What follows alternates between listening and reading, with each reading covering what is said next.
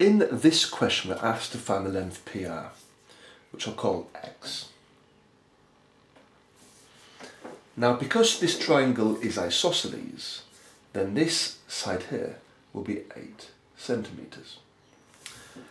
And because I know side angle side and want the side opposite the angle, I can use the cosine rule for this, though there are different methods you could use. Now the cosine rule tells us that a squared equals b squared plus c squared minus 2 bc cos of the angle. And this is used when you're asked to find a side opposite an angle.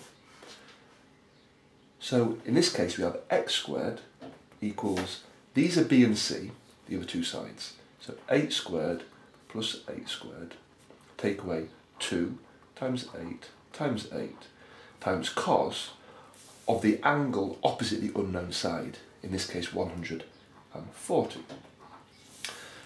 So if I enter this into my calculator, it will give me x squared. So here we go.